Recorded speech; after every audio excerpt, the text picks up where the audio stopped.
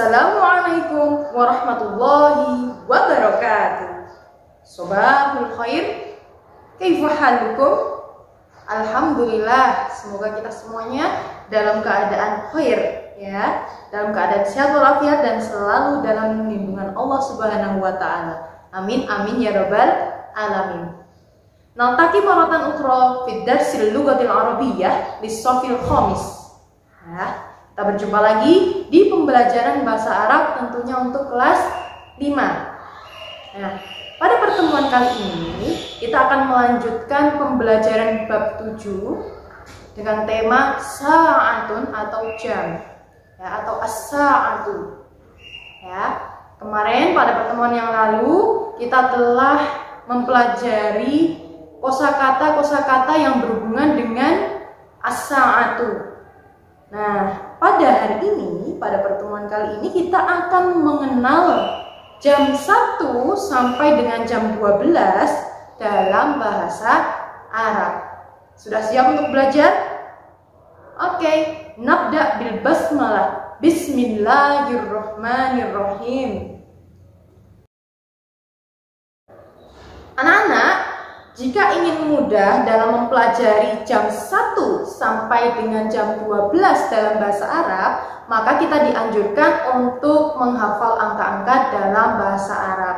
Masih ingat?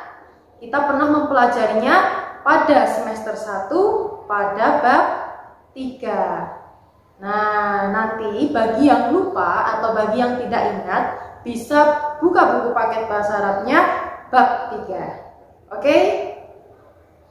Oke, alhamdulillah. Nah, anak-anak, untuk jam 1 sampai dengan jam 10 kita menggunakan rumus suara a i atun. Ya. Jadi ada perbedaan tulisan dan pengucapan antara angka-angka Arab dan jam dalam bahasa Arab dari jam 1 sampai jam 12 itu ada perbedaannya. Nah, dari jam 1 sampai dengan jam 10 kita menggunakan rumus suara a i atun. Sedangkan dari jam 11 sampai dengan jam 12 kita menggunakan rumus suara a i ata. Faham? Oke. Langsung saja kita mulai. Kita lihat di samping Bu Delia ada gambar jam dinding ya. Jam berapa? Jam jam 1. Nah, satu dalam bahasa Arab yaitu wahidatun. Apa anak-anak? Wahidatun. Nah, angka satu ternyata sudah menggunakan rumus a i atun jadi tidak perlu dirubah lagi. Ya. Jadinya kalau jam 1 jam itu bahasa Arabnya sa'atun satu wahidatun. Jadi kalau digabung jam satu maka sa'atun wahidatun. Itu kalau tidak menggunakan alif lam ya. Kalau di kan ada alif lamnya. Nah, kalau menggunakan alif lam maka as-sa'atu al-wahidatu. Perbedaannya ada pada tak marbutohnya. Ketika menggunakan alif lam, maka tak marbutohnya tidak berharokat domah tanwin lagi, akan tetapi berharokat domah saja. Paham? Nah, selanjutnya jam 2. Jam 2. 2 dalam bahasa Arab isnan.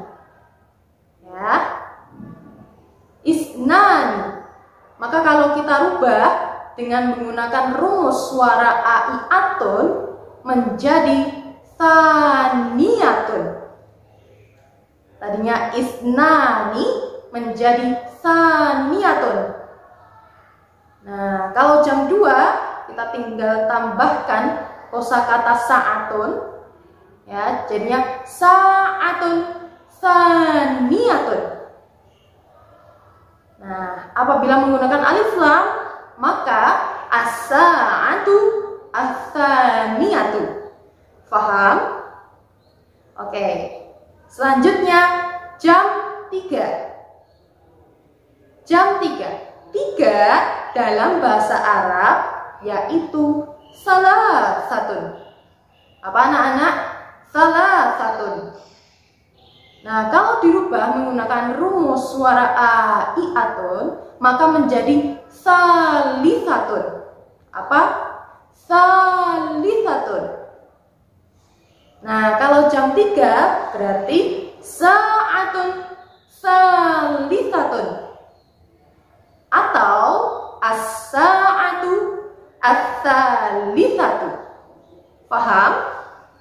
Selanjutnya jam 4.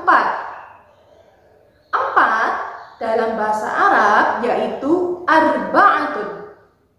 Arba'atun jika kita rubah menggunakan rumus suara a, i, atun menjadi robi'atun. Apa anak-anak? Iya, betul sekali. Robi'atun. Kalau jam 4, maka sa'atun robi'atun atau as-sa'atu ar-robi'atu. Nah, kita lanjutkan jam 5. 5 dalam bahasa Arab yaitu khamsatun. Khamsatun. Jika kita rubah menggunakan rumus a atun, maka menjadi khomisatun. Khomisatun.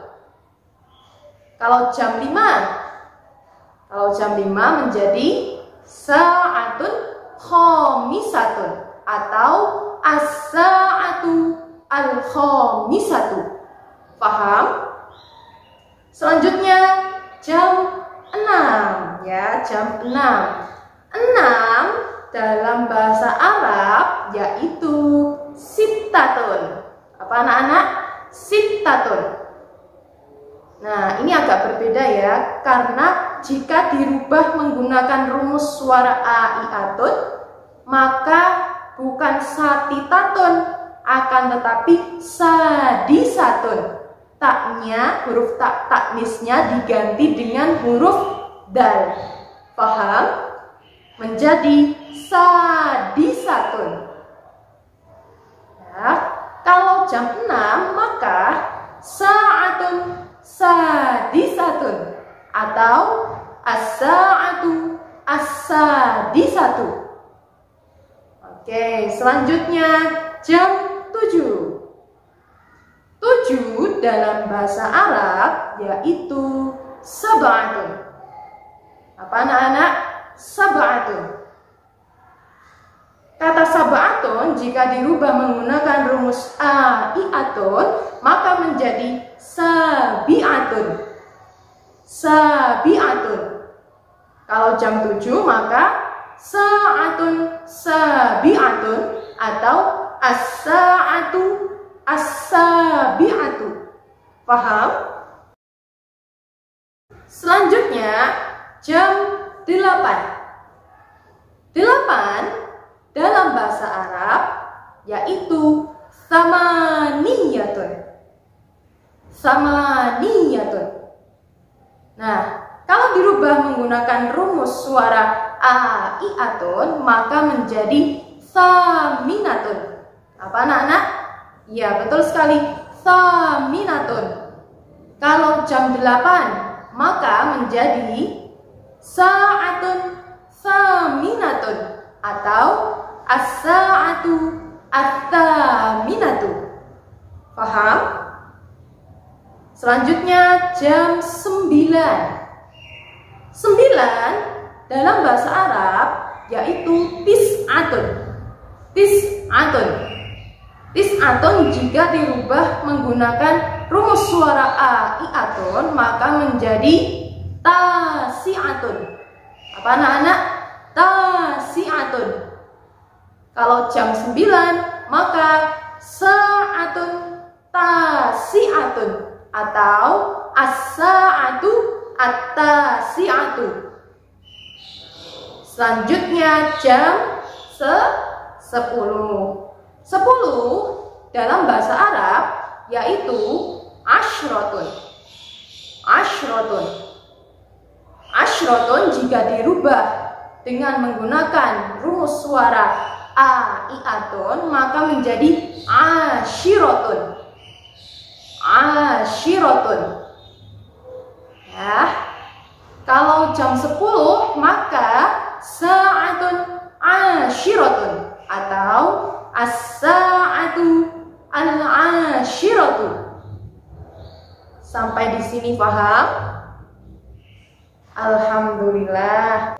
Nah, untuk jam 11 sampai dengan jam 12, maka kita menggunakan rumus a i ata ashro. Apa anak-anak? Ya, betul sekali. A i ata ashro. Langsung saja jam 11. 11 dalam bahasa Arab yaitu ihda asyar. Apa anak-anak? Ihda asyar. Ihda asyar jika kita rubah menggunakan rumus suara a iata ashro menjadi hadiyata ashro. Hadiyata ashro. Kalau jam 11 maka sa'atun hadiyata ashro atau as-sa'atu al-hadiyata ashro. Paham? Selanjutnya yang terakhir adalah jam 12. 12 dalam bahasa Arab yaitu ifna ashar. Apa anak-anak? Ya betul sekali. Ifna ashar. Ifna ashar jika kita rubah menggunakan rumus suara a i ata ashroh maka menjadi faniyata ashroh. Kalau jam 12 maka sa'atun faniyata ashroh atau as-sa'atu as-saniyata ashroh. Paham? Alhamdulillah. Cukup sekian yang bisa Budelia sampaikan pada pertemuan kali ini. Syukron ala ihtimamikum nahtatim bilhamdalah. Alhamdulillahirabbil alamin. Jangan lupa jaga kesehatan selalu, makan teratur, tidur tepat waktu, bangun juga tepat waktu. Oke? Okay?